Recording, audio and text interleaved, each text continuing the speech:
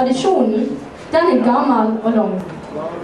Både innen dans, spill og sang. Vi går i nikkers og i stakk. Og går noter vil vi helst ikke høre snakk.